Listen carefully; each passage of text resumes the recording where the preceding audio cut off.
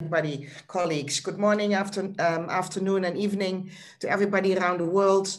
Um, excuses for the technical glitches.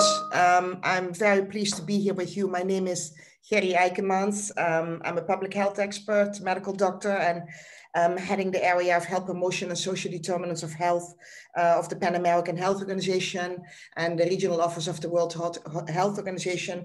And it's my pleasure to moderate this very important session, this official side event of the high level forum of the Director General for um, Development, uh, the, the DG Forum um, for Development Cooperation, sorry, on the role of South-South cooperation and triangular cooperation in sustaining public primary health care, um, reproductive, maternal, newborn, and child health, and universal health coverage in the context of COVID. Um, this forum will provide a platform to follow up on the DG Forum conclusions and identify some uh, strategic uh, actions, and it will contribute um, to ensure the delivery of essential public health functions. Um, um really a uh, pleasure this co-organized meeting between UN OCC, uh, UN OSSC, UNFPA, UNICEF, and PAHO.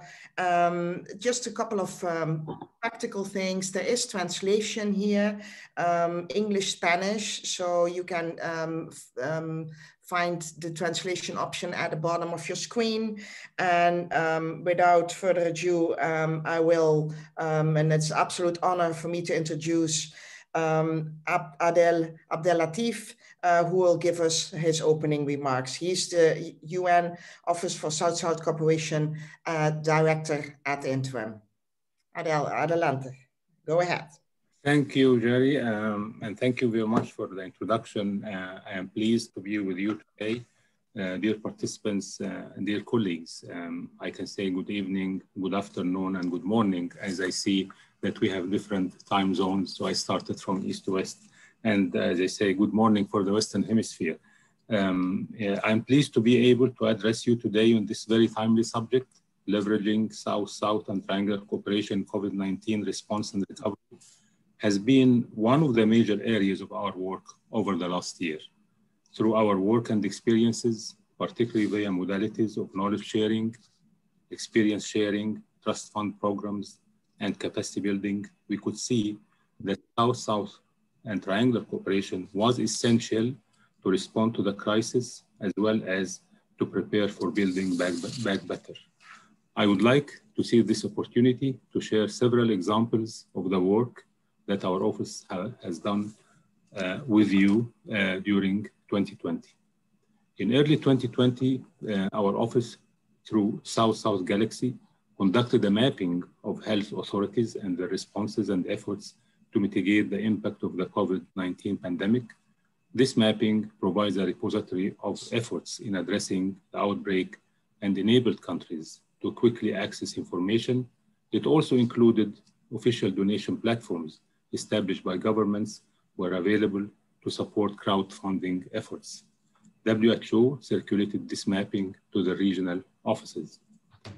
Uh, through also the trust funds that uh, our office is managing, namely the India UN Development Partnership Fund, the India, Brazil, and South Africa Facility for Poverty and Hunger Alleviation, IBSA Fund, Pérez-Guerrero Trust Fund, and the United Nations Fund for South-South Cooperation, were early responders to the COVID-19 pandemic. In-kind support totaling almost 12 million US dollars to 31 countries in the global south was fast-tracked to help them respond to COVID-19 through supplying ventilators and personal protective equipment, as well as resources to mitigate socioeconomic impacts. The India UN fund fast COVID-19 response projects in 14 countries in the global south with 90% of funds used for immediate purchases of medical equipment, ambulances, ventilator, respirators, ICU, beds, incinerators, and other materials, while 10% of funds were used for economic recovery among the most vulnerable, including women and girls. Through the UN Fund for South-South Cooperation with support from China, over 1.1 million masks, 1,000 medical protective and 10 respirators were distributed among 20, uh, 22 countries. South-South Trust Fund continue to provide support to small island developing states across all geographical regions, 12 SIDS in the Caribbean and 13 SIDS in the Pacific and four SIDS in Africa and Asia. During 2020, 18, nine, 18 UN entities implemented projects supported by the trust funds managed by the UN Office for South-South Cooperation. In addition, through Cities project, uh, the, our office mobilized donations benefiting people in 22 countries, facilitated good practice sharing, and conducted mapping of cities' innovative practices in COVID-19 response. The Global South-South Development Center project network, member institutions and partners also made significant donation of funds and medical supplies worth approximately 3.6 US uh, million dollars for COVID-19 responses benefiting people in more than 20 countries. Example of good practices of leveraging South-South and triangular cooperation COVID-19 response and recovery were documented in the third volume of good practices in South-South and triangular cooperation for sustainable development, published in 20. There was a dedicated chapter on SDG 3, good health and well-being, which brings together a collection of 30 good practices in COVID-19 response and recovery. To face challenges associated with COVID-19, South-South cooperation and partnership among all stakeholders, be it governmental and non-governmental, and at various levels, local, national, regional, and global, will play a key role to, conf to confront not only the existing challenges, but also emerging issues and likely future crises. I encourage you to use the platforms that, uh, of uh, the United Nations Office for South-South Cooperation for sharing knowledge and good practices on South-South and Triangular Cooperation. The three key platforms include South-South Galaxy, South-South Global Thinkers, and, uh, and the Global South-South Development Expo. Uh, I encourage you to continue your engagement with the United Nations Office for South-South Cooperation and finally, I wish you great success in your discussions. Thank you. Thank you so much, Adel. Wonderful for your wonderful words, for giving us this overview.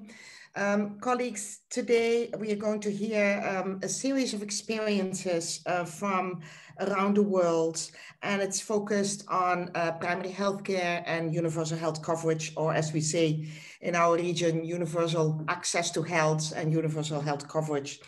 Um, we know that although the world was shaken and affected by the pandemic, certain populations were particularly affected, those in the most vulnerable situation. And it was because of uh, pre-existing conditions, because maybe there were migrants already living in, in poor areas, their social employment conditions, workers in the informal economy had huge challenges, um, or their living conditions, crowded spaces, urban settlements, etc., or the access to healthcare. All those factors have been really important in how populations, different populations have experienced COVID.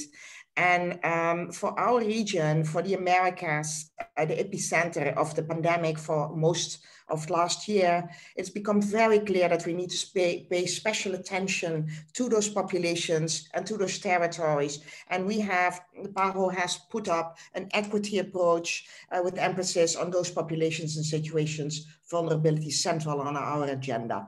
And the role of South-South collaboration could not be more important on topic on discussing this uh, within this context by sharing approaches, experiences, um, particularly uh, during uh, the next phase of building back, maybe not so much uh, back, but building better forward.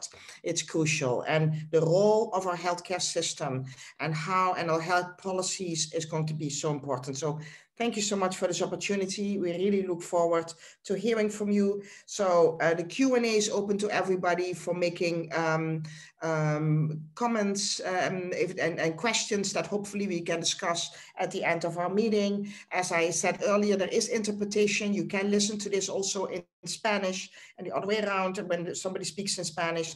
But um, next, the most important, of course, are our panelists. We have a series of very um, exciting speakers The first one is Dr. Wessam Mankoula, uh, who is a healthcare professional with over 11 years of experience in public health, uh, in public health emergency management, epidemiology, practicing medicine. And he has worked for governmental, non-governmental, and international organizations and in 2016, he was selected, uh, selected as one of 10 African public health professionals to support the establishment and operationalization of Africa CDC under African Union Commission. He is currently serving as the lead of Africa um, collaboration with WHO, uh, uh, sorry, of Africa CDC emergency operations. He has established a coalition in collaboration with WHO and US CDC to push the agenda um, in Africa and support member states. Dr. Wessam Mankoula, the floor is yours. You have your eight minutes now. Over. Okay, thank, thank you so much. And uh, we're, we're pleased to be part of this uh, important uh, forum uh, to share also our experience uh, in Africa CDC in uh, fighting against COVID-19 and the impact of COVID-19 on um, primary healthcare and essential services in Africa. So I hope you can see my screen now.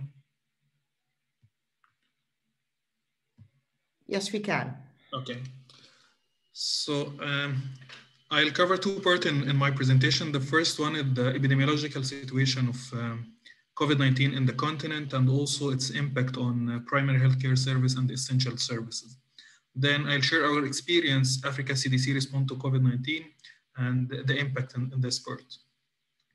Uh, globally, uh, as you know, uh, we have more than 123 million confirmed cases reported worldwide, with more than 2.7 million deaths reported globally. most of the cases coming from PAHO region and also from, from Europe.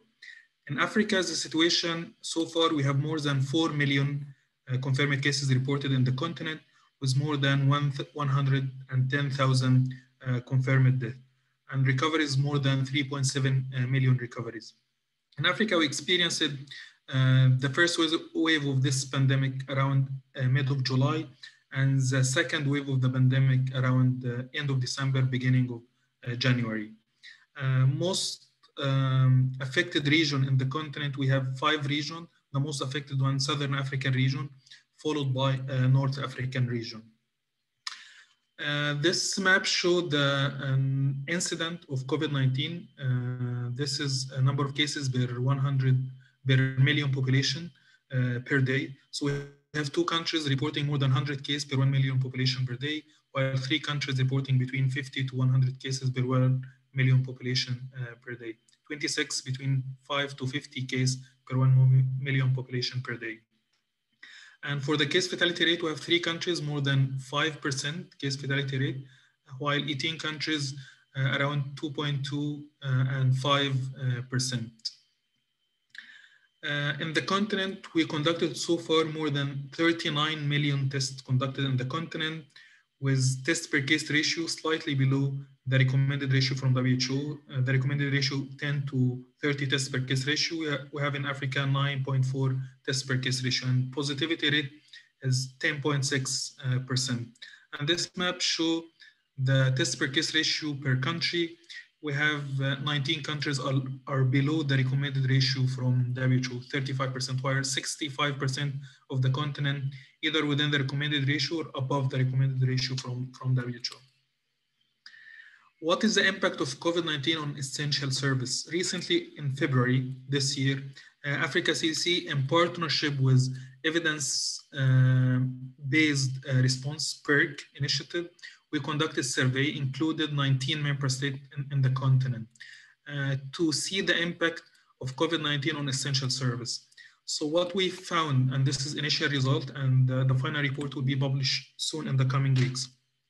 42% of the respondents uh, reported uh, that uh, while they are in need of health services, they or uh, someone in their family member, so they are skipped or delayed visit uh, because of COVID-19 pandemic. And 43% have difficulties in obtaining medication. Also, the report show uh, that this missed service were highest among women among people aged uh, more than 36 years old, among lower income uh, responder uh, as well. Um, and the reason behind missing this service, if you can look at the right side of the screen, you'll find mainly because of fear of catching COVID-19, also because of, uh, and this is 29%, health facility disruption, 22% reported uh, this as one of the reasons behind missing service. Also related to cost uh, affordability, 20%, mobility restriction, 20%, caretaker responsibility is 5%, self-isolation with suspected COVID is, is 2%.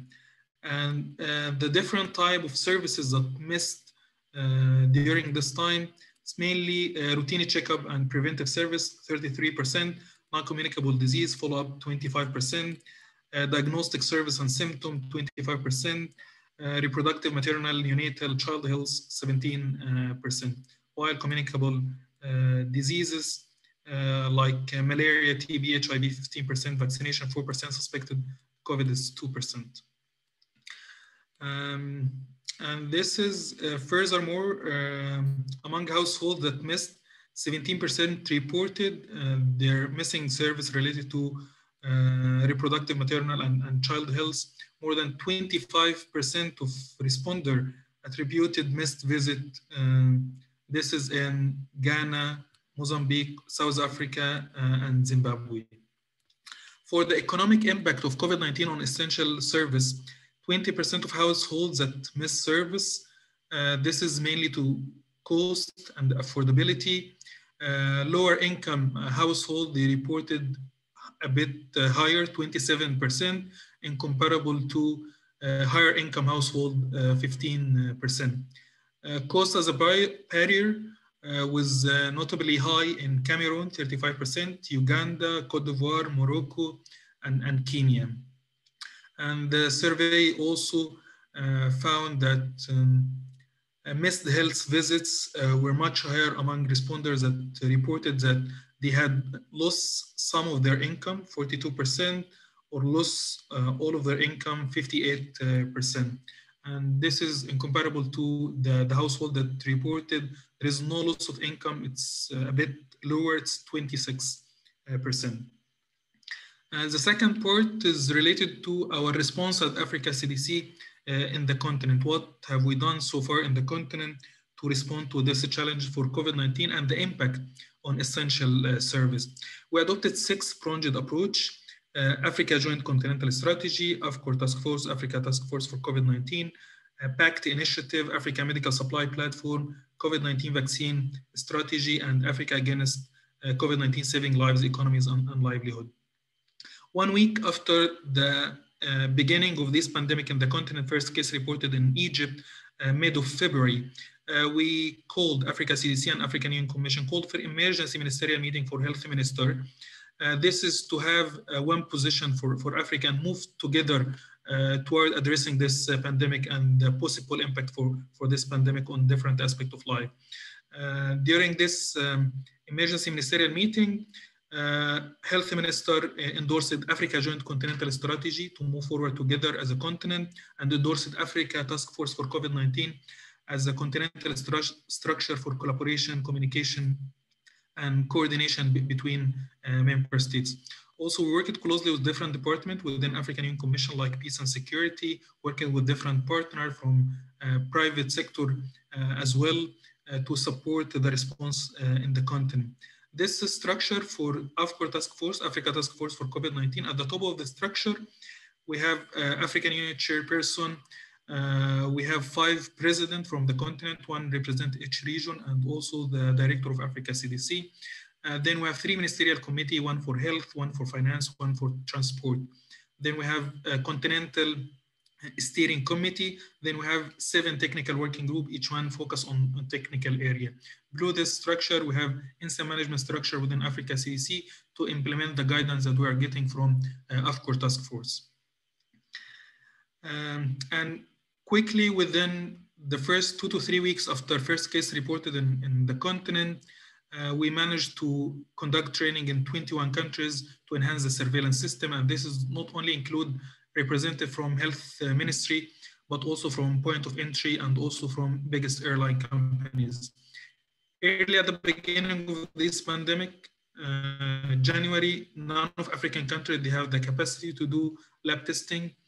Uh, early February, only two countries. Then Africa CDC managed to conduct training for 43 countries within two to three weeks uh, at the beginning of this pandemic. Currently, all the 55 countries, they have the capacity to conduct COVID-19 uh, testing. The same IPC training for 23 countries in the first two to three weeks, risk communication and clinical care management, 25 countries uh, were engaged. Also, uh, we have noticed around uh, June that uh, there is a huge impact on the continuation of essential service. This is when Africa CDC also launched its guidance and strategy for continuation of essential service for, for uh, member state. And it focused on um, quite number of, of pillars. Uh, one focus on having governance uh, at continental level and also at country level uh, for accountability and coordination framework to ensure continuation of essential service. In addition to identify what is essential uh, service uh, to be prioritized to address and uh, because of it may have impact because of COVID-19. Also maximize the use of available health service delivery option in addition to establish effective screening, triage, and safety for health workers. Also redistributing healthcare workforce uh, capacity, staff from a non-affected area, engagement of retired staff, accelerating uh, training for uh, medical student, nursing, and health staff. Uh, in addition to ensuring continuous availability of essential medication equipment uh, and supplies, and including also message about continuity of essential service uh, during COVID-19 pandemic. So far, we managed uh, as Africa CDC to conduct training for almost all, all the member states using different platform, either in-person training, webinars, and, and virtual training. And numbers on, on the left side, including different technical area for laboratory, uh, surveillance, IPC, risk communication, case management, and public health emergency operation center. This is to ensure that continuity of operation controlling the, the pandemic. Uh, in addition to providing different uh, lab test kits and IPC supplies and, and, medical equipment, we provided out of the uh, 39 million tests conducted in the continent, around 7.5 million tests provided by Africa CDC, 12 million masks. We currently support also uh, 20 countries with 25 genome sequencing equipment to ensure that this kind of uh, equipment and uh, this kind of capacity available in the continent, in addition to protective suit, disinfectant, infrared ther thermometer as well, dexamethasone and ventilators. Uh, this is also our um, uh, rapid response team that deployed this map on the left side, showing our rapid response team that deployed to support member state. We have more than 200 uh, responders deployed uh, to, to the member state to, to support the continuation of um, essential service and, and operation during COVID-19, in addition to uh, around 16,000 community health workers uh, to, to support uh, member states in contact tracing, and raising the awareness of, of the community, and also will be used during the vaccination uh, campaign. Uh, another initiative that, that we launched uh, around April, it's PACT initiative, Partnership for Accelerating COVID-19 Testing.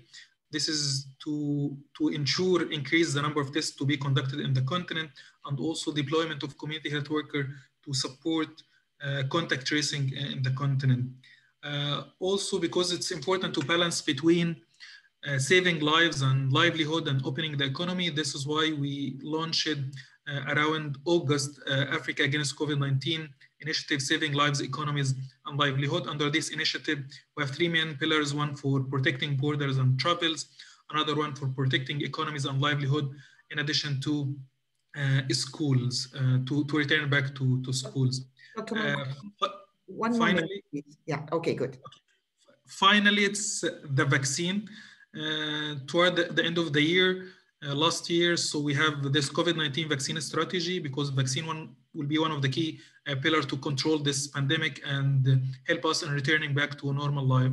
So uh, we have three main pillars. One focus on clinical trials uh, to be conducted in the continent for, for this vaccine. Also having access to this vaccine and having regulation. so we're targeting to have 1.5 billion doses to be available in the continent to cover 60% uh, uh, in the continent, and this is will cost us between 10 to 15 billion. Uh, so far, we launched AVAT, African Vaccine Acquisition Task Team, under the previous chair of African Union, President Ramaphosa, and we succeeded to secure 270 million doses to be available in the continent and 400 additional million uh, under active negotiation to hit the target of, of 60%. So this is in brief our effort as Africa CDC to address uh, this issue and help in uh, continuation of essential service in, in the continent. Over to you. Thank you so much, Dr. Mankoula. Very, very interesting presentation highlighting the enormous impact not only of COVID, but also of people not being able to access their essential services um, and the other impacts, as we all know, the economic, social um, impacts and how this being balanced and how primary healthcare plays such an important role. Thank you so much for your presentation. Um, so we're going now to our next speaker, uh, which is um, from the region of the Americas, Dr. Luis Gonzalez Machado, uh, who is currently the Director General of the National Health Board uh, of Uruguay, an independent body within the Ministry of Health. Dr. Uh, Gonzalez Machado has coordinated health strengthening and modernization programs um, within the Ministry of Health of Uruguay in collaboration with the Inter-American Development Bank. He has also he also works uh, in the development of the implementation of social policies with the UNDP, UNICEF, and ILO. He's a medical doctor specialized in radiotherapy from the University of uh, the Universidad de la República in Uruguay. Doctor uh, Luis González Machado, adelante. Tiene sus ocho minutos. Gracias. Buenos días, saludos a todos los eh, panelistas y a todos los participantes en esta. Good morning. I want to welcome all the participants. My presentation will focus on conceptual components, and I thank uh, Dr. Mankoula for describing the situation in Africa. I'd like to highlight that in Uruguay, we don't have pandemic expertise. Uruguay, fortunately, has not been subject of this type of catastrophe. And therefore, we, would, we have had to develop a very concise strategy in a very rapid way to respond to the COVID-19 pandemic as a systemic problem, a global, regional, and national problem that exceeds the scope and the competencies of our health sector. It's up to us to maximize the response to the pandemic by the health system within the framework of responding to the emergency. We need to manage the response to the pandemic. And we need to establish the need for a permanent relationship between the health system, society, and the economy the strategy employed by Uruguay has one or has been one of driving leadership at the highest level with a very practical focus that is also very broad with the participation of various organizations, both social and political, from the entire country. All of this focused on a great deal of capacity for resolution and with a very executive approach. This strategic approach with high level leadership has been led by the president of our nation and the minister of health, President Lacalle and Minister Salinas. It's been a joint effort that has also been involving different scientific advisors, advisors at the highest national level that have not only provided a, an excellent quality to the response, but have also garnered a great deal of credibility in society, given that our main scientists in country in the health sector have been involved, and we have the best scientists with the best expertise working with the leadership at the national level to develop practical solutions. One important component of this strategy has been innovation. One example of this innovation has been the development of production capacity in Uruguay regarding production techniques to develop molecular diagnostic tests, uh, PCR. Uruguay is a very innovative country. And when we applied the uh, Tetris uh, strategy of tracing and isolation, we ran into the difficulty of not having more than just a few dozen tests in country to be able to conduct these studies. We also saw a tremendous scarcity of these at the global level.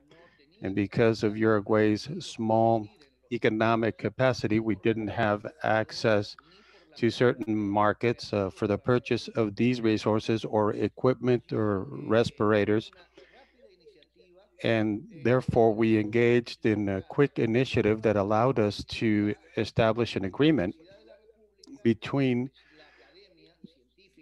the academic sector as well as the scientific national sector, the Pasteur Institute, and other key research organizations and our Ministry of Health, where we were able to develop a national Uruguayan test to be able to conduct COVID-19 di diagnostics using highly effective biomolecular technology and our national industry subsequently was able to produce a large number of tests that afforded us the opportunity to engage in mass testing campaigns by using these biomolecular techniques. And this was very effective in addressing the needs of the population. Today, more than 35% of the nation's population has been subjected to this biomolecular diagnostic test. So this was a rapid innovation and application that went beyond the traditional difficulties that we've seen when we have academia coordinate the efforts with the private sector. Now, this was supported by greater participation and communication. As we stated, we had a, a lot of stakeholders involved. As I stated previously, we didn't have any expert on pandemics, so we had to listen to the experts, but we also needed to make some quick decisions. Uruguay is broken down into 19 different states, and in each state, we created an emergency commission made up of uh, local government representatives and different health uh, officials, labor organizations, civil society, with a very clear objective. The idea wasn't to have theoretical discussions, but rather come up with quick decisions. And the national government and the Ministry of Health took part in these uh, deliberations and we were able to make uh, generalized decisions that we could put into practice and adapt and adopt in each state by each one of these state commissions. The communication strategy is and continues to be an essential element for us to be able to properly align all of society's activities in this regard. The appearance and the impact of the pandemic has affected all the levels of society, and as it typically happens, the most vulnerable people are typically the most gravely affected. The way in which we aligned all of the affected sectors in society and the way in which we intervened with social organizations, political, scientific organizations, non-government organizations, through a leadership campaign, we engaged in various different communication activities. Our president was having press conferences uh, practically on a daily basis, and these were then uh,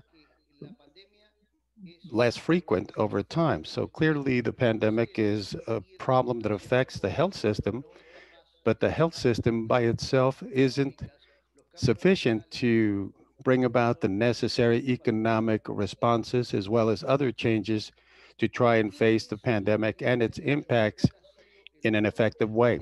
So what has been the approach for our health system, specifically as it is geared for towards controlling the epidemic?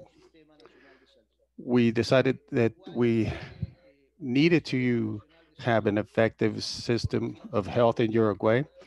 We needed to create a unified financing mechanism to ensure universal coverage to all of the citizens in our country through an integrated healthcare plan and a portfolio of offerings that includes prevention services, healthcare services, rehabilitation, and other types of services. This has been something that has been undergoing in our country for a number of decades. And in our response to the pandemic, we have seen this system put to the test, but we've also seen a strengthening of our national health system, much of which uh, includes private sector providers, medical professional organizations, and other key public officials, including organizations such as state health or organizations, our social security system, everything under the umbrella of the National Health System Authority, which involved our division directly in this situation, and that also has two other government agencies. And this degree of governance is very important. On the one hand, we have the National Council on Health, which is the organization that provides coverage to current, uh, currently employed people, retired people. And on the other hand, we have the other council that covers the needs of different populations, including military, low income families, law enforcement, but everything is geared towards a unified health policy that includes national and general coverage criteria. This function derived from the national health system has been one of the keys that has allowed Uruguay to provide an effective response to the impact of the pandemic. Now, I need to qualify this by saying that this has been the case so far. It's also worth noting that the evol evolution of the pandemic has been very dynamic with different scenarios, different phases. One first uh, phase during the month of March. On March 13, we declared the national health emergency. And on the same day, we detected the first four cases in our country. And so our executive branch, our president, uh, called for a national health emergency and two days after that, we were already undertaking a series of measures that were debated, that were clearly very innovative and bold, because our objective was to contain the virus and try to isolate it to our health system. And so we wanted to keep this outside of the uh, population and we wanted to isolate this as effectively as possible. For this purpose, it was important for us to avail ourselves of our resources that Uruguay has nationwide, where we provide in-home services. We can also provide coverage through different mobile units. We have medical staff that can visit patients uh, in their home and provide services not just in clinics or medical facilities, but provide services in the home. And this allowed us to respond to the first phase of the epidemic without having to have uh, the affected parties uh, go directly into the health system, but rather receive attention from these mobile units. So for this purpose, we also had to enable innovative techniques to be able to address the needs. At that time, it was considered a huge sin to prescribe medication to a patient via telephone or via some other non-personal contact. But we started using telemedicine extensively and we developed a number of new techniques that were based on different platforms, video conferencing, teleconsultation platforms. And to our great surprise, we had a great response by the general population. The response by our medical staff was exemplary, and the results were excellent. We then had to face the challenge of having little in the way of resources and trying to parse them out and allocate them in a necessary way to be able to expand our capacity for telemedicine, intensive therapies, for example, and then conduct a proper equitable distribution at a national level. When everything appeared to be under control, we saw a scarcity of medication, which led to another crisis.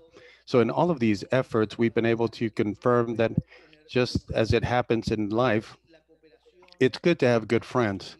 And so in this regard, the country to country collaboration mechanisms, the support that we received from different international organizations, PAHO, the IDB and other organizations provided excellent support to Uruguay so we could engage in rapid and effective responses in the face of this crisis that was affecting all of our governments and all of our nations. We are still managing some of the support that we started more than a year ago, working with a number of associations and organizations that um, have been supporting our efforts.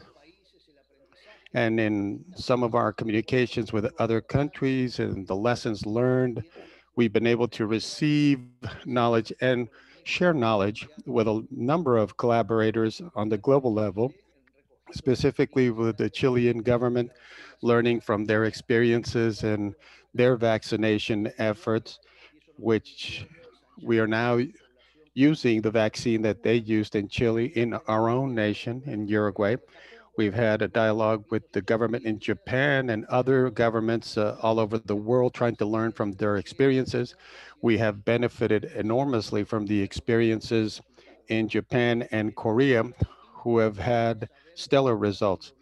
We're trying to conduct the proper benchmarking based on the experiences of others. And we've been able to support and advise other of our sister nations to be able to come up with a more appropriate response to their issues. As Dr. Mankoula was saying, now we see the vaccination phase and Uruguay began with the vaccination effort, and we also tried to be very innovative in this regard as well.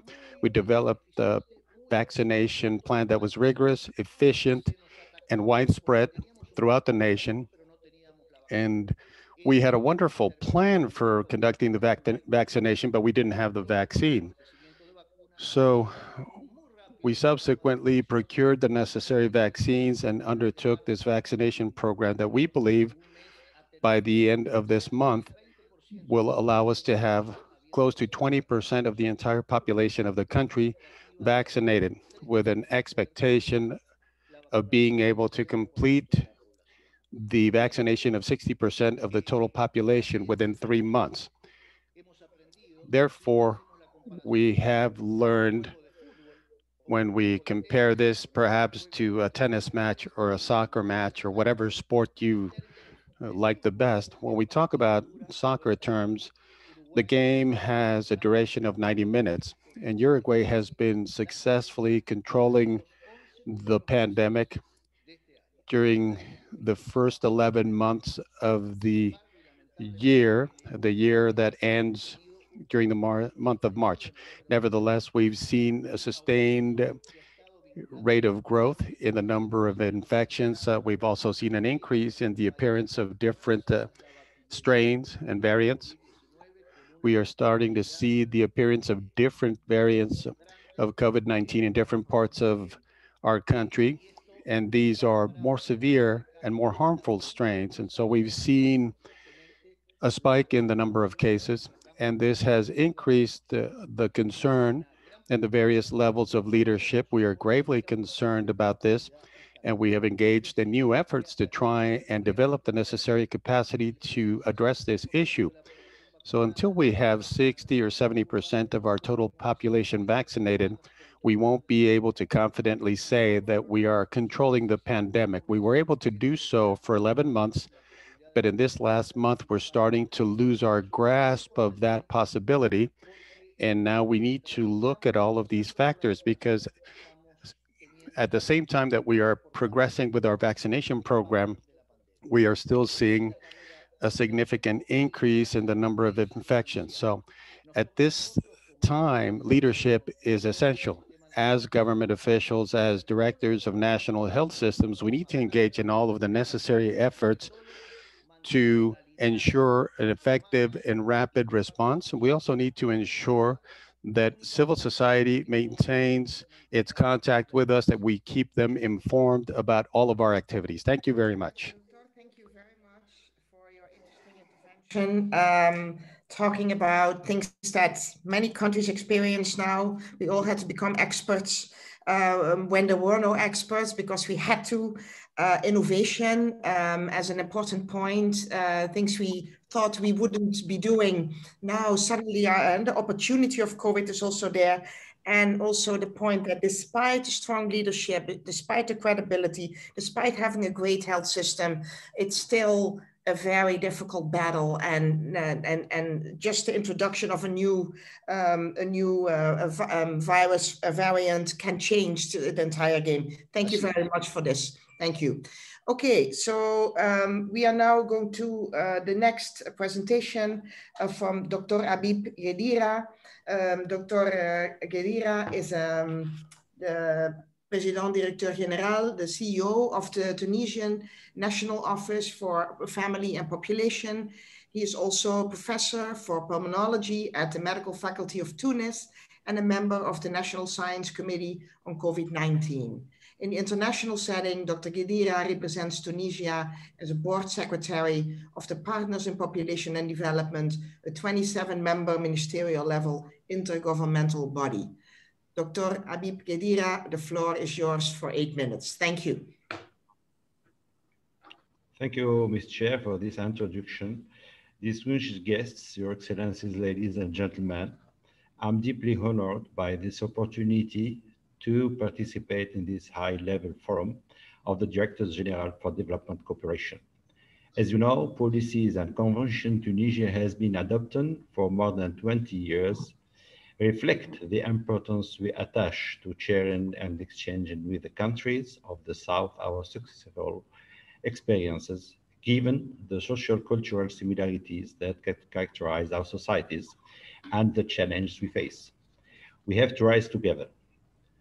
With this in mind, I firmly believe that South-South cooperation as a strategy for economic and social progress organized by our development partners in their policies for overseas development assistance is essential in generating both new ideas and concrete projects, as well as in sharing experiences, lessons, lessons learned, and knowledge on a multitude of strategies and mitigated measures adopted.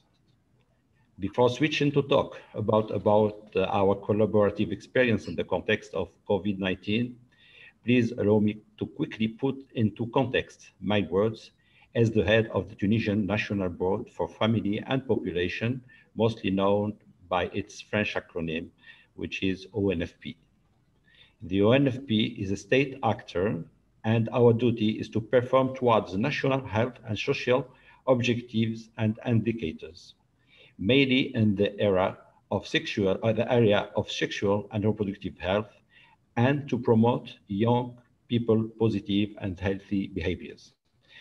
Our budget is mainly provided by the government, but we perform efficiently with a strong partnership with UN agencies, mainly the UNFPA and the WHO, and also with the Global Fund to fight against AIDS, tuberculosis, and malaria, and the South-South Initiative of Partners in Population Development, PPD. Active in the 24th regions, uh, 24 region of Tunisia, our staff is among the most qualified for the objectives and include physicians, midwives, nurses, psychologists, and educators working in situ and outreach. Since its establishment in 1973, the ONFP accumulated many success stories, mainly in sexual and reproductive health, Initially, the main objective was to control demographic growth, which was Hajj in the beginning, which was the main objective during the first two decades. And by improving the sexual and reproductive health, rights, and young people health behavior since then. Our silent indicator is with regard to unmet needs for family planning, which reached in 2010 a value as low as 7% in Tunisia. As you know, in, two, uh, in, uh, in uh, 2011, Tunisia faced a significant revolution, not in terms of casualties, but significance was in terms of remodeling, remodeling of the direction of the country towards improved democratic interaction, freedom, and human rights environment. On the other hand, soaring unemployment rates, economic difficulties, deterioration of public services, and religious radicalism created huge challenge to face, especially for ONFP. For our indicator of reference for sexual and reproductive health, and met need for planning, family, family planning jumped from 7% in 2010 to 19% in 2018, as reported by two consecutive important surveys of multiple indicator cluster survey called MICS. It's with this context of fighting to reverse this negative trends that COVID-19 came to over-challenge our country. As we all know, the COVID-19 pandemic has devastated lives and, life and livelihoods around the world. It constitutes a great risk to developing countries as well as to vulnerable individuals and groups, poor women, victims of gender-based violence, people living with HIV, migrants, and refugees. Tunisia went through three main COVID-19 periods. The first case of the SARS-CoV-2 uh, COVID-2 was reported in early March 2020, and Tunisia decided to implement early measures with lockdown and border closing. This resulted in a very limited outbreak with around 1,000 cases and 50 deaths for 11 million population. And quite three months later, zero cases per, per day. It was very uh, interesting. And also we had because of lockdown, a drop in 20% of economic performance indicators. During that period, in terms of sexual and reproductive health, despite the exclusion of health services from lockdown, an important negative impact on services and indicators of reproductive and sexual health were reported. Available data sources, ONFP, also from uh, Association of Midwives and group Tawhida Ben Cheikh, UNFPA uh, also show that substantial decrease of activities in ONFP and in ministry dispensaries of all SRH uh, sexual and reproductive health activities, namely contraception, pre and postnatal care, sexual transmission uh, infection management, breast and cervical cancer, screen, and as well as decreased in information and education and communication, counseling and adolescent and young people directed services. Some centers closed for a period of four to six weeks. The main two reasons for this dramatic impact was and for providing the necessary information and the equipment and means for staff protection. After this first period, Tunisia government undertook a review of its programs to take into account the immediate needs to address the fallout the uh, threat of the ongoing pandemic. On April 24, 2020, the Ministry of Health issued circular number 23, 2020, instructing to resume public and private sector care activities for non-COVID-19 patients. So to continue our activity out of the way of COVID. In this context, a joint communication strategy involving the Ministry of Health and UN agencies was developed to raise awareness among the general population about the importance of the continuity of essential health services. Among the essential health services to be provided, the circular sit, maternal, neonatal, and child health, sexual and reproductive health, prenatal and postnatal services, essential obstetric and neonatal care, the health of women of productive age, access to contraceptive methods, including emergency contraception, voluntary termination of pregnancy, including medical abortion and management of sexually transmitted infection. This period was followed by a progressive and controlled reopening of borders from 27th of June onwards and managed on the basis of COVID-19 epidemic status in the countries of arrival. The second period lasts two months from 27th June, during which, despite the opening of the borders, few cases were reported thanks to parallel measures, which consist of required PCR for all people arriving from countries classified as orange or red in terms of outbreak activity, but also a lockdown in dedicated center for people arriving from red countries and in COVID-19 center for PCR positive persons. By summer, the relative comfort in the outbreak situation allowed us to prepare ourselves and our human resources through better education and communication, efficient standard procedures, operating procedure, and distribution of protective equipment. But another challenge was to raise is to cover the unplanned emergent costs at the same time as the regular time consuming public administrative procedure. And if we go through administrative procedure, it can be very slow. This challenge, nevertheless, was quickly met thanks to the support of the Ministry of Health, to which ONFP reports, and the strong partnership we have.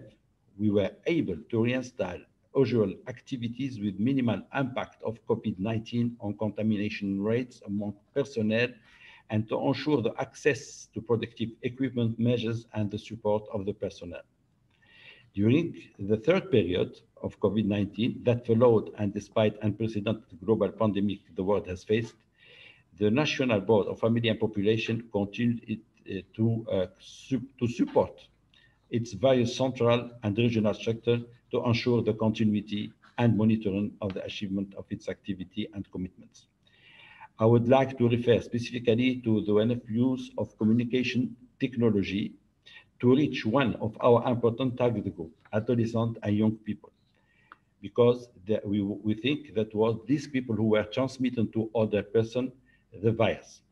And so we established web and smartphone based educational mobile application on sexual, because to continue our services called Sexo Santé, and also we had uh, application that provide people, adolescents, with an, uh, reliable information approved by experts on the field. An important challenge Tunisia faced during this outbreak is, was the risky behavior of these young people. And to address this, ONFP uh, launched a campaign to raise awareness among youth and children in educational institutions about how to protect themselves from COVID-19 and the impact they can have on older and elderly patients, uh, parents. This campaign raised, uh, lasted 10 days and involved all of the 24 government structures. ONFP has also leveraged new digital technologies such as video conferencing, webinar, and virtual workshops to ensure business continuity and commitment. This initiative was recognized by independent surveys as one of the best mitigating measures to fully recover sexual and reproductive health services in public sector by comparing the situation during the first and second waves of, uh, waves of COVID-19 outbreak. Today, we have to, to, to uh, a new challenge, we have to face a new challenge with the beginning of the vaccination the vaccination now, we are in 2,000 or 3,000 persons who received mainly from health personnel and all people. But at the same time, we have stock coming, but at the same time, people are questioning about the need of this vaccination, the risk of the vaccination. And the NFP is really to support the government and the Ministry of Health to convince people to increase awareness about vaccination. Ladies and gentlemen, before concluding my speech, I would like to take this opportunity to reiterate Tunisia's resolute commitment to support the initiative of South-South and triangular cooperation to support the achievement of Sustainable Development Goals and the achievement of the 2030 Sustainable Development Agenda. I reiterate our willingness to host events to facilitate the exchange of South-South countries, best practice of uh, term of resilience in time of crisis, and in addressing health Uh, needs and most for, mainly for most vulnerable groups, especially migrants and refugees. It's not the last crisis the world will face, but our countries can get better preparedness. Together, let us coordinate our action in order to multiply the success of development in the world of the South, to share them largely through enhanced cooperation, initiating a strong recovery and achieving sustainable development goals by 2030. Thank you very much for your attention. Thank you very much, Dr. Ghedira, for your very interesting presentation on um, what happened in Tunisia, um, the, the, steps you took, um, the difficulties, again, that countries, that your country faced uh, with maintaining sexual reproductive health uh, services, um, and, and how important it has been um, to work with communication tools, with new tools, again, innovation, um, very important coming out here, and the challenges that all countries have with vaccination. Who will get the vaccine first? Do we have enough vaccination uh, vaccines uh, for the ones we need to protect first? And um, dealing with the vaccine hesitancy, which is a, a huge issue also uh, across the world. And thank you also for your call of action, call for action on the importance of cooperation between countries and learning from each other. Thank you very much, Dr. Habib Ghedira. Um, so we move now to our next speaker, um, which is Mr. Uh, um, you're gonna forgive me if I don't do this correctly, Mr. Watanawit Gajaseni, uh, who is the Deputy Director General, currently acting uh, for the uh, Director General of the Thailand International Cooperation Agency, TICA, uh, from the Ministry of Foreign Affairs of Thailand. He has a long career with TICA um, since when um, it was known um, as the Department for Technical and Economic uh, Cooperation, starting as a program officer in 1989. Uh, he must have started when he was five years old, I guess. He has experience working on inter-regional and regional projects and on country uh, partnership, bilateral and trilateral. And he has served as director for countries partnership branch in 2011 and director of partnership for development bureau in 2017. In 2020, he was promoted as the agency's deputy director general. Um, Dr. Uh, Gajaseni, the floor is yours for the next eight minutes. Thank you so much.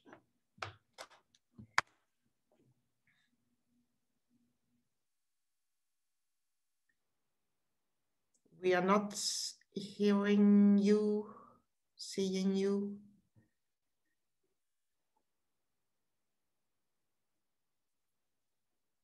Thank you, the moderator. On behalf of Thailand International Cooperation Agency or TICA, Ministry of Foreign Affairs, we thank UNICEF, UNFPA, UNOS, WHO PAHO for the opportunity to speak on the role of development agencies from the South to advance SDG 3 and our experiences on EMTCT. South-South and Triangular cooperation has been a cornerstone for Thailand's development cooperation and has served to strengthen our capacities as a knowledge hub in the areas where it has expertise, including public health sector. Most of our cooperation on public health focus on epidemiology, primary health care, especially on mother and child health, the promotion of universal health coverage, or USC, and emergency medicine. The aim is to work along our partners to improve their preparedness and response for any emerging diseases and to ensure prompt public health measures in place, as well as to share knowledge and lessons learned from the frontline management, clinical and patient care.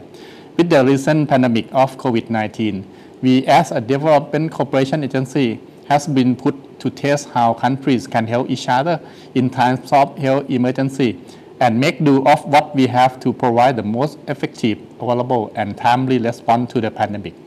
From the experience of Thailand, there are a few key lessons that TICA as Development Cooperation Agency learn as we do South SST South South Cooperation in supporting good health and well-being. Firstly, the saying think globally act locally does apply to development cooperation.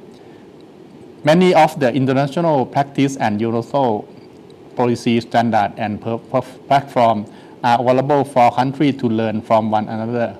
However, at the end of the day, it is how the local capacity to absorb know-how and technology that matters. Absorptive capacity relies on many development elements ranging from the country infrastructure, government structure to sectoral component. Example is on how Thailand shares its known good practices on universal health coverage before getting to where we are now, it requires whole of government and whole of society approach, taking into account the country's governmental structure, systematic financial management, and demographic divisions. The, the benefit of, from our GSC system may not necessarily be at a fancy level, but it has the widest coverage and access to as many pockets of population as possible. We apply this approach to development cooperation project we have with other countries. The example is the case of bilateral and ongoing technical cooperation project on USC between Thailand and Kenya, with focus on supporting Kenya's journey to achieve USC. The project touches upon various areas including financing and prioritizing benefit packets, health technology assessment or HTA, and human resource development.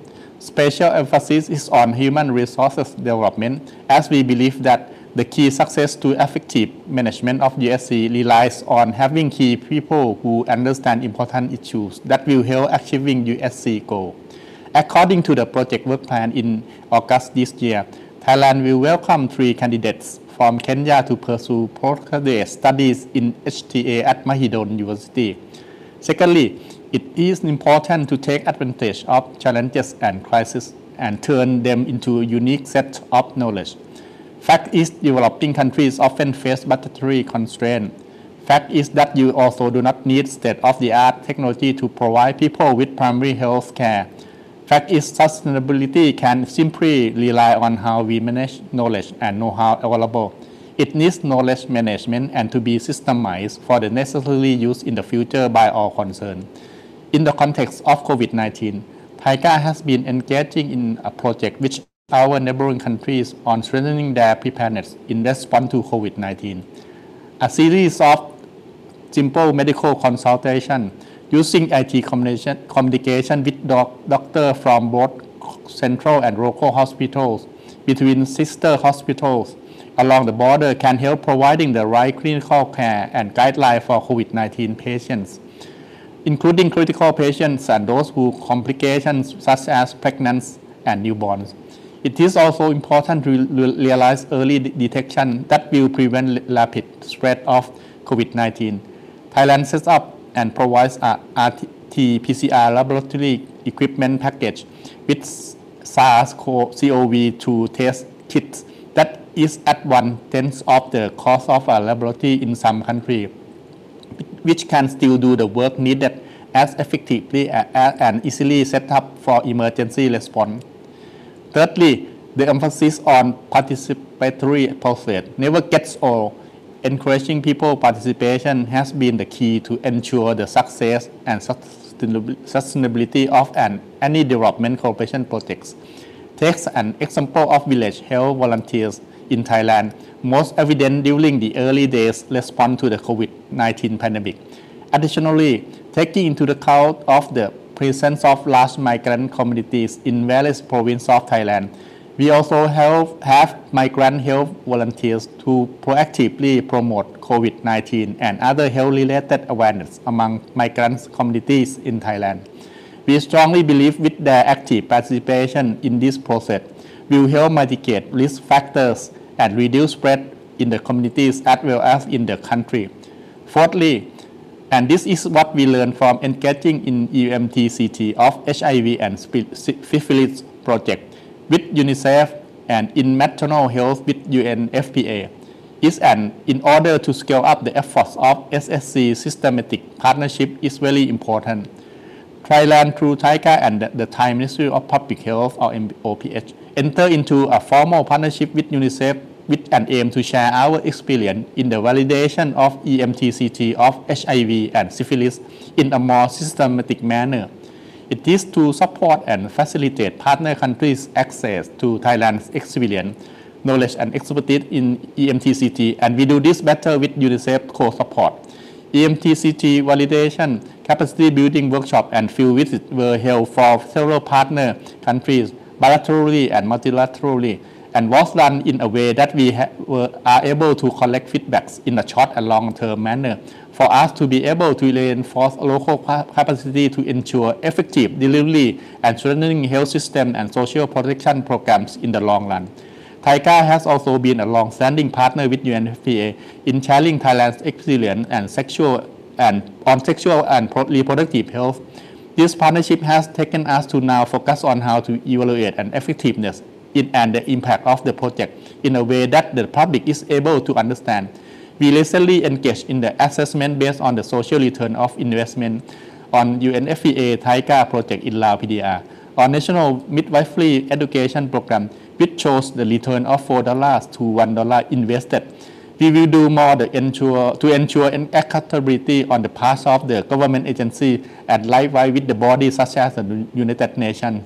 TICA has also collaborated with other development partners such as JICA, JICA in building and strengthening capacity in the area of public health through the implementation of technical cooperation projects and third country training programs. The issue that central to our focus now are disaster health management, elderly care, disability care, and usual health, health coverage. In conclusion, Development Cooperation Agency play a key role to facilitate international development cooperation with the most practical, applicable, and sustainable solution based on the good management of resources and expertise of SSC provider and recipients. Emphasis emphasize also that whether you are providers or recipients of SSC, it is always a two-way learning process. I thank you.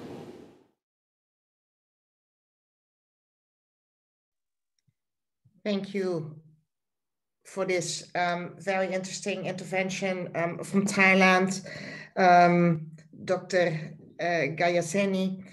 Um, and thank you for highlighting the important role that um, the, the International Development Corporation plays, um, particularly in times like this, and also that the crisis do present an opportunity, but that, that how we cash in on that opportunity really depends on how things were before the crisis hit us.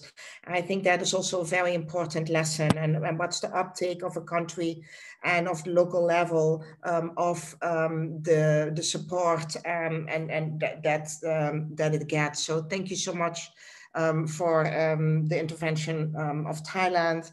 And now we're going to move to our last speaker before having some closing remarks in the end. Um, so Mr. Um, Anir Chowdhury uh, is a policy advisor of the A2I program of the ICT division of the Cabinet division of the government of Bangladesh, supported by the UNDP. In his capacity, he leads uh, the formation of a whole of society innovation ecosystem in Bangladesh to massive technology development, extensive capacity development, integrated policy formulation, uh, whole of government uh, institutional reform, and an innovation fund.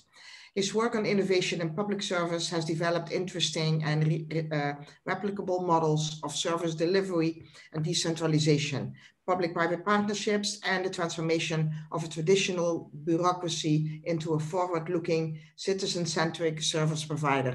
Very much looking forward to your intervention, Mr. Chowdhury. The floor is yours for the next eight minutes. Thank you. Thank you very much, Madam Chair. Let me share my screen.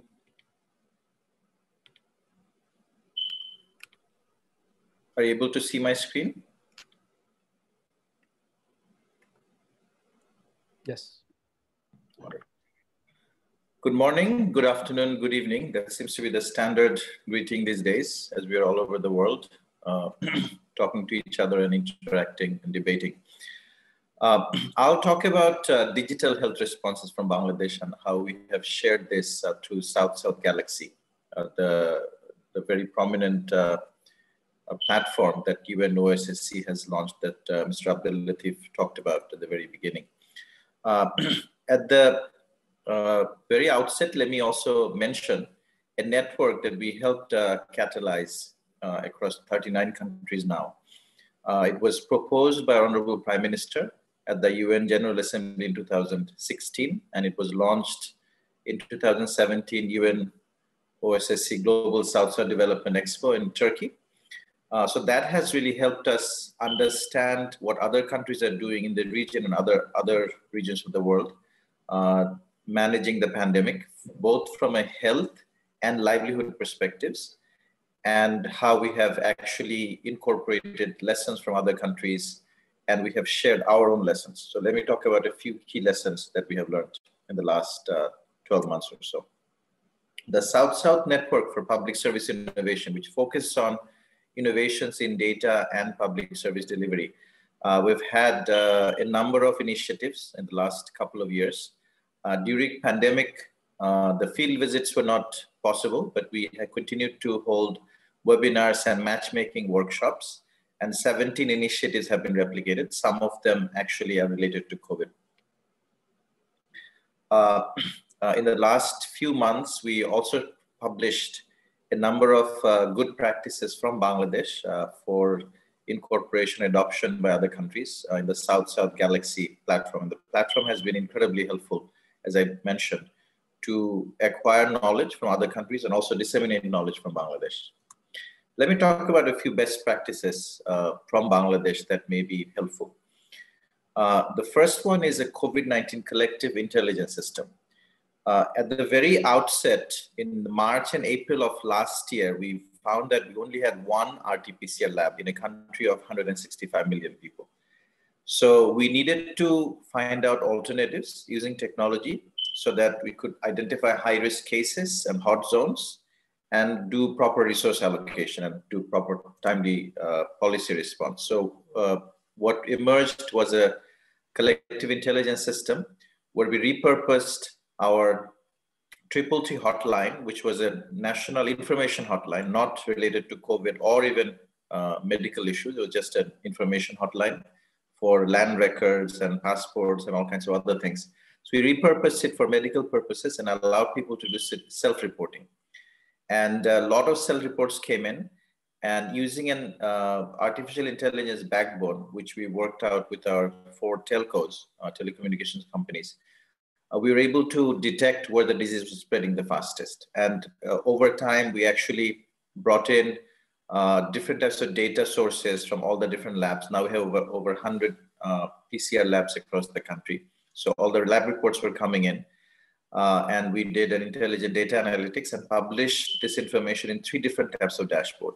One for the health providers, the Director General of Health Services, one for the general administration, cabinet, and field administration, administration and police, and another for just general public, corona.gov.bd, which became the information hub for the entire uh, population.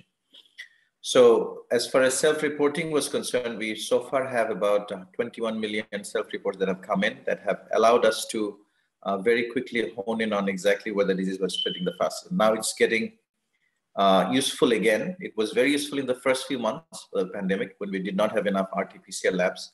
We were able to identify seven to 10 days ahead of time where the disease was progressing, even before testing. Now again, as the disease is picking up, uh, we are seeing in the last three weeks a very high uptick across the entire country. So this system again is getting uh, very useful.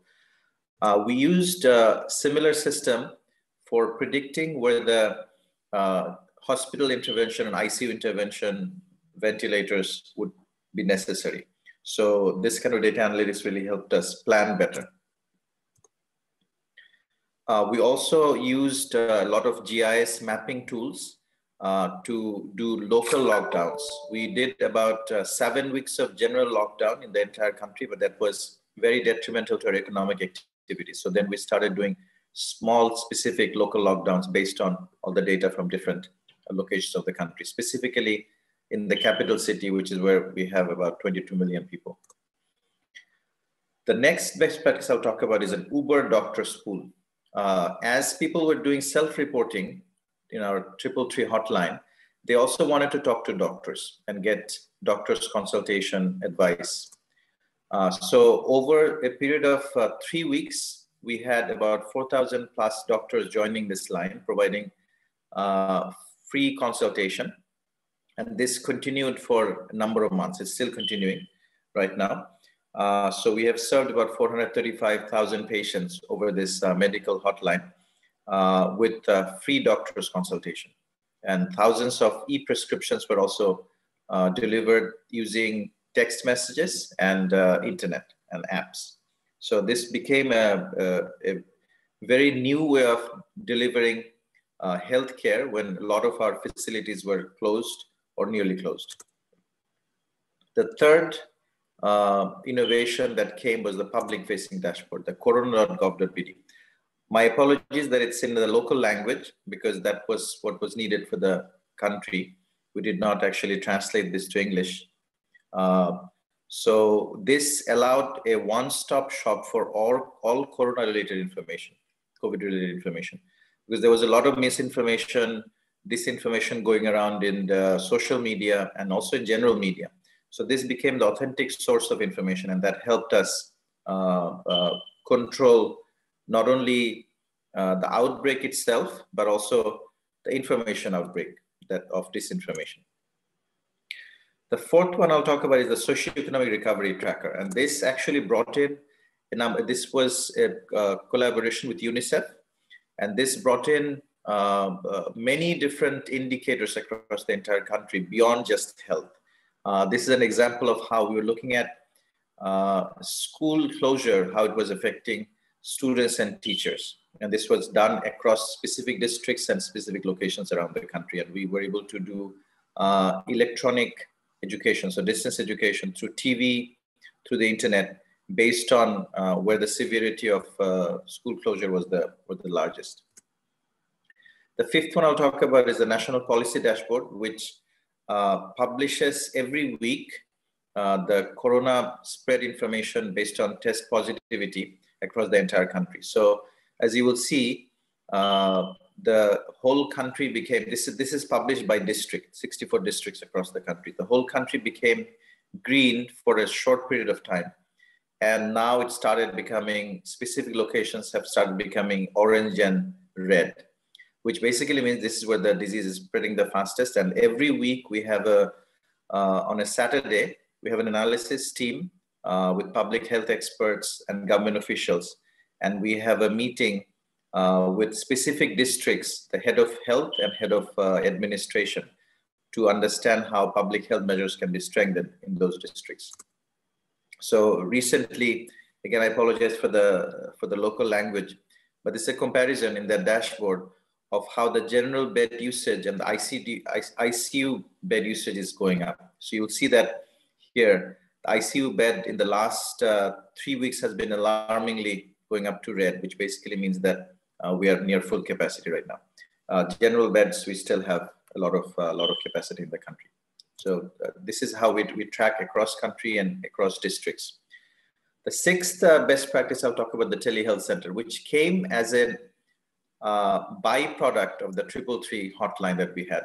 So as uh, citizens were calling in with self uh, self-reporting symptoms, and started getting help from the 4,000 plus doctors that we had, we decided that we would have a proactive way of reaching out to all the COVID positive patients. And that's what we started in June of last year, still continuing. So we have served so far 600,000 uh, patients, uh, doctor consultations, incoming and outgoing. So that, and this has also generated the country's first ever large electronic medical record system because we have a we had a system which we not, not did not really use, but this actually practiced that that uh, so this uh, strengthened the electronic medical record uh, through COVID information. Uh, alongside that, with the Ministry of uh, Women and Children Affairs and uh, Director General of Family Planning, we launched something called Ma Tele Health Center for women and children. So this was also launched in June of last year, still continuing, and this has become a central uh, public service delivery for pregnant women and for new uh, uh, the new new babies, so babies and infants. And this has this is now showing us the way of the future where we can look at uh, telemedicine as a way of doing public uh, service delivery for health. Uh, uh, and we're also looking at, because we have so much data available on hundreds of thousands of patients that we are now looking at possibility of creating a health financing out of this. The last one I'll talk about the vaccine rollout. And uh, this has been quite successful up until very recently, where I think uh, uh, the supply from India, which is what we depended on, AstraZeneca, uh, India has, I think, recently decided uh, potentially not to export. So this has put us in a quandary. But uh, the data management system that we had for preparation of the thousand plus locations where we're doing vaccination, the supply chain management, and any kind of adverse effect following immunization, AFI, and development of an international, internationally accepted vaccine certificate uh, by working with uh, India, uh, the US, and Estonia uh, is uh, actually going quite well. Uh, so the data management system has really helped us manage vaccine rollout in a very seamless manner. So what has been the key differentiator in all the different best practices or innovation that I talked about? It's really all about data. So data management uh, in an unprecedented way uh, for health and livelihood, I think really has helped us in a way that uh, we have not looked at data before COVID, before from the government and also all the uh, partner development agencies. So that has really helped us contain the disease. Uh, so uh, strike the balance between life and livelihood. So, so far we've had about 577,000 infected, about 8.7 thousand deaths. But interestingly, uh, by managing uh, life and livelihood balance uh, using data, we also have been able to sustain the GDP growth, which was about 8% pre-COVID, but we sustained it to about 5.2% last year, which was a remarkable achievement of the government. So in closing, I'll say we took a five-pronged data approach for collective intelligence for improved policymaking. Uh, we broke the data silos, not only within government departments, but also between government and private sector. We developed intelligent data analytics that makes sense to the policymakers and not just to statisticians. We developed public, private, and academic partnerships uh, that allowed us to do very intelligent and rapid data analysis and also some predictive analysis for the future. We used a lot of modeling techniques that really helped us uh, with local and international academia. Uh, a lot of uh, academia from uh, the US and UK really helped us. We developed data protection laws during this time, which we had not done before. That really helped us use uh, uh citizens' data in a, in a privacy protected manner. And South-South cooperation was a key differentiator in learning from other countries and also disseminating what we learned from Bangladesh to other countries. Thank you very much. Thank you very much, Dr. Chowdhury. Absolutely impressive presentation on the possibility and the use of um, technology, taking again the opportunity of COVID to really make a huge step ahead, the use of data and not just collecting the data, but really applying for a very, um, very uh, intelligent way of addressing um, the pandemic. Thank you very much for this. Well, um, we unfortunately, and this probably um, shows I haven't been a good moderator, but we are a little bit behind, so we won't have time for Q&A. Um, but I want to thank everybody for this absolutely amazing session, and I want to uh, pass uh, the, the floor for conclusions and closing remarks to Ms. Anjali Sen, the UNFPA representative to, to Indonesia. Um, she um, um, she has also served as the agency representative to Yemen. And prior to UNFPA, she served as a regional director at the International Planned Parenthood Federation and held several senior leadership positions in the Indian government. Uh, she's an Indian national who brings 30 years of experience in the development and government sectors. Much of her time has been spent in championing, championing and advocating the sexual reproductive health rights of the poorest, most vulnerable, and most marginalized communities. She holds a Master of History degree um, in the Jawaharlal Nehru uh, University and a Bachelor of uh, History degree from Delhi University. I'm very pleased that although we had a very wide representation and very interesting sessions um, during uh, this um, uh, interesting presentation during this session, I'm very pleased that we have another woman here to close uh, the session. Thank you so much, everybody. And um, um, Dr. Anjali Sen, the floor is yours for the closing. Thank you. Thank you so much, uh, Dr. Gerry Eijkemans. Uh, and uh, good morning, good afternoon, good evening, distinguished panelists, participants, colleagues, greetings from uh, Indonesia, where, yes, it is very much uh, late evening. Uh, it's really a, a huge uh, privilege to represent UNFPA here at this very critical discussions that we have just had on the role of South-South and technical cooperation. And we have heard these amazing experiences from all the, uh, the panelists. and what we really see is what is cutting across all of this is how good policy advice uh, had, and how all the, the countries have really stepped up very quickly and adopted uh, strategic uh, approaches. And uh, they have quickly done impact on essential health uh, services.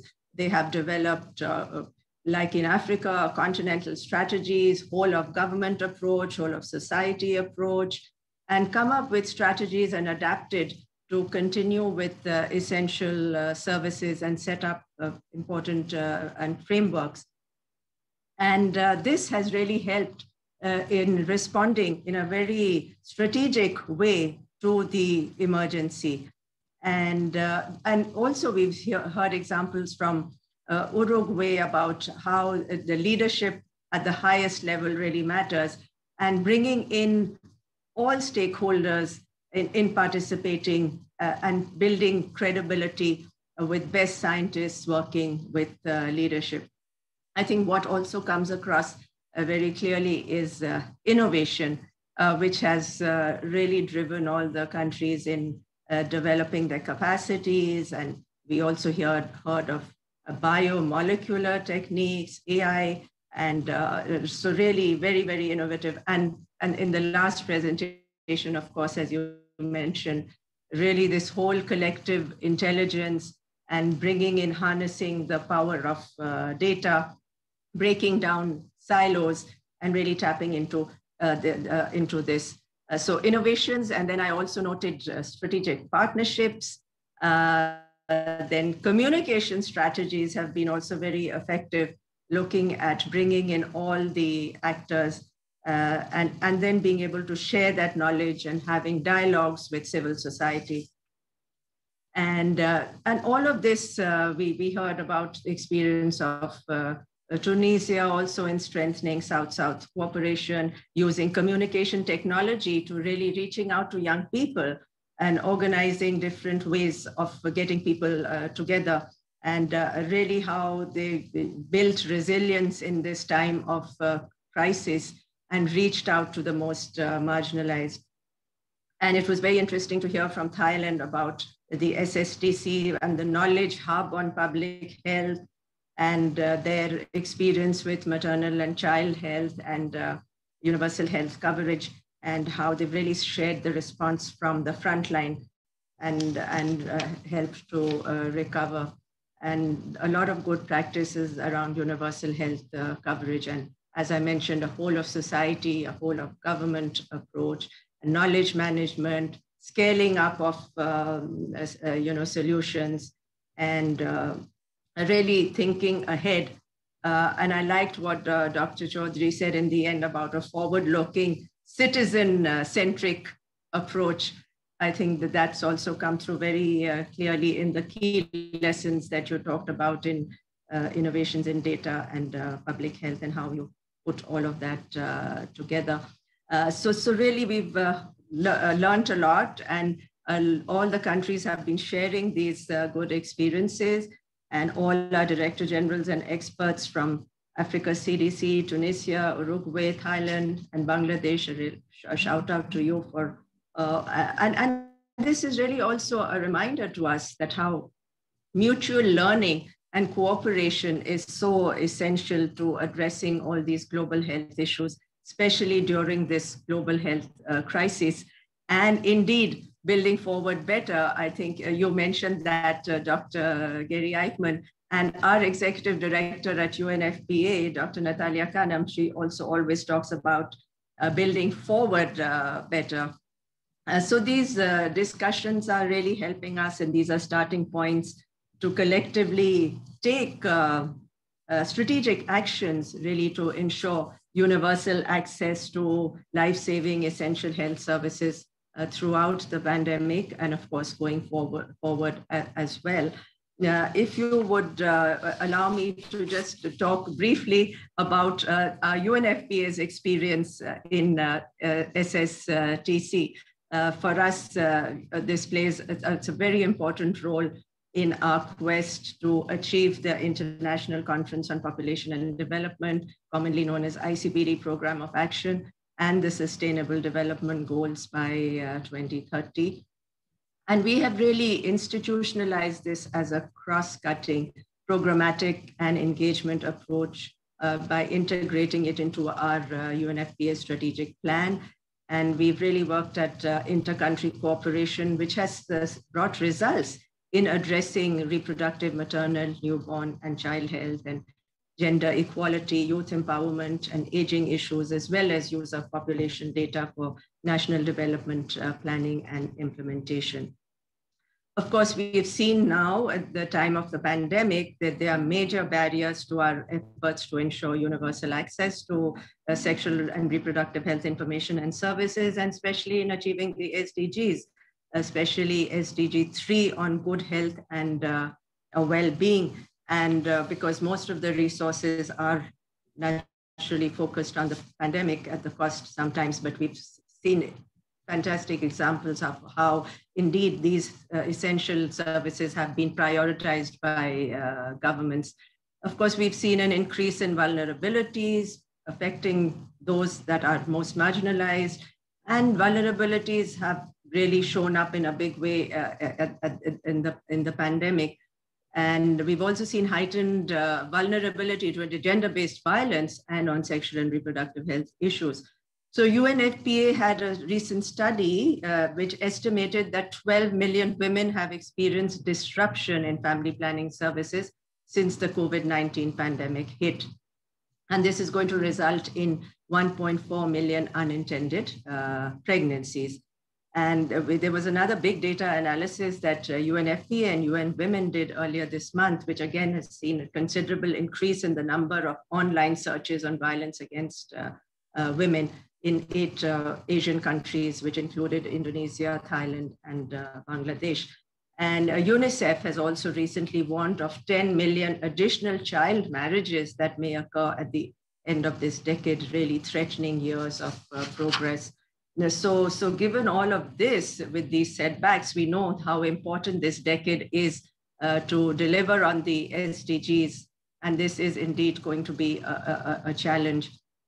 And of course, now with the vaccine, we have to focus on the vaccination rollout, which is presenting challenges, especially for the low and middle income uh, countries.